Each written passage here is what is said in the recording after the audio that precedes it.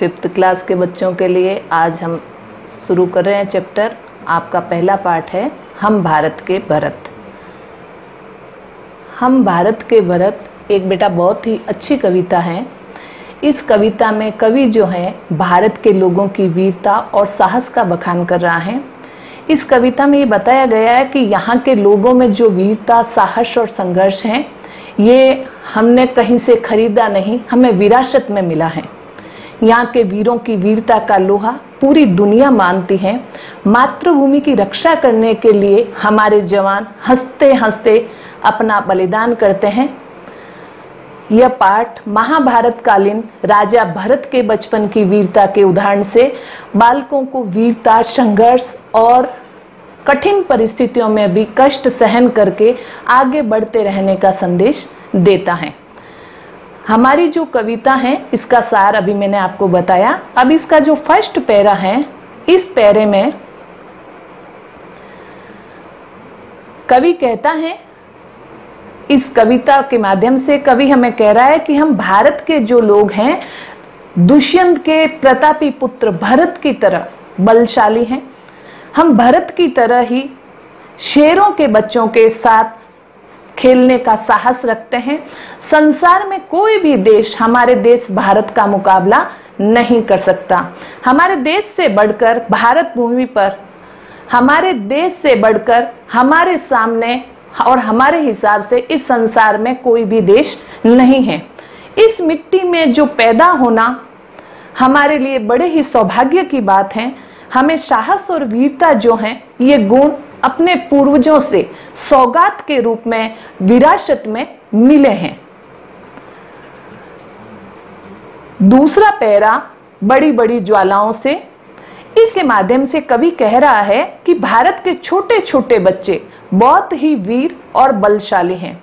छोटी छोटी चिंगारी मिलके बहुत बड़ी ज्वाला बन सकती हैं। तो अगर हमारे छोटे छोटे बालक मिल जाएँ तो बहुत बड़ी कठिनाइयों से ताकत कोई भी अगर समस्या हो तो उसका मुकाबला कर सकते हैं। उसी प्रकार हमारे छोटे छोटे जो बच्चे हैं, बहुत ही ताकतवर हैं। हम कठिन संघर्ष करके सफलता पाते हैं। हम कभी भी अंगारों पे दहकते हैं तो कब और फूलों के समान खिलके महकते भी हैं। हम अपने देश की खातिर शान से जीते हैं और मरते हैं। संसार का कोई भी देश हमारे देश का मुकाबला नहीं कर सकता। हमारा जो तीसरा पैरा है, इसमें कहा गया है, हमें दुश्मन जब भी ललकारता है, युद्ध भूमि में हम लोग शत्रु को अपना साहस दिखाते हैं। भारत के वीरों ने हमेशा गोली हो या तीर अपने सीने पे खाए हैं, पीठ में कभी नहीं। हमारे मैदान जब भी हमारे जवान जब भी मैदान में उतरते हैं तो दुनिया जो है आश्चर्यचकित रह जाती हैं। हम सदियों से इतिहास के पन्नों में अपना नाम करते आए हैं। अपनी मातृभूमि के लिए बारह महीनों त्याग और बलिदान हम लोग रख सकते हैं। इस भारत भूमि की खानों में सदा हीरे और अमूल्य रत्न पैदा हुए हैं। यहाँ जो है कवि ने हीरे और अमूल्य रत्न हमारे वीरों के लिए इन शब्दों का प्रयोग किया है। इस मिट्टी में हमेशा देशभक्तों ने जन्म लिया है।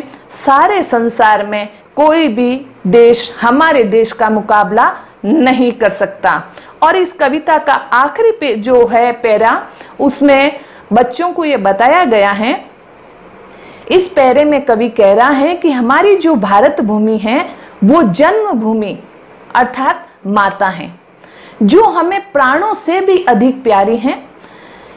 इसकी सावधानी और साहस से रक्षा करने की ज़िम्मेदारी केवल जो हमारे जवान बॉर्डर पे खड़े हैं, उनकी ही नहीं हम लोग इस मिट्टी में पैदा हुए हैं तो इसकी रक्षा करने की जो ज़िम्मेदारी है, हम लोगों की भी उतनी ही बनती है। हम खूब परिश्रम करने का संकल्प लेते हैं और हमारे देश की रक्षा की प्रगति करने की कठिन जो परीक्षा है, उसमें हम लोग सफल भी कई बार हुए हैं और दुआ करते हैं कि आगे भी हम लोग सफल होंगे। हमने अपनी जो माँ का दूध पिया है, उसकी सौगंध खा के कहते हैं कि हम अपने देश की रक्षा के लिए हर समय तत्पर रहेंगे। हम इस छोटी उम्र में ही परिश्रम और बलिदान करना जान लें। अर्थात देश सेवा का जो परिचय है, इस पाठ के माध्यम से बच्चों को समझाने की कोशिश की गई है कि ये जो हमारे देश के जवान हैं, वहाँ तक पहुँचे हैं और हम लोगों के लिए जो हर समय हर पल अपने परिवार को छोड़ के आगे आए रहते हैं। वो कोई केवल उनकी नौकरी ही नहीं, उनके लिए मातृभूमि का जज्बा भी है और ये हर छोटे बच्चे में भी होना चाहिए, क्योंकि मातृभूमि जो है, वो सबसे बड़ी होती हैं। और इस पाठ के माध्यम से आपको यही कह रही हूँ कि आप भी बड़े होके अपनी मातृभूमि की सेवा में समर्पित हों।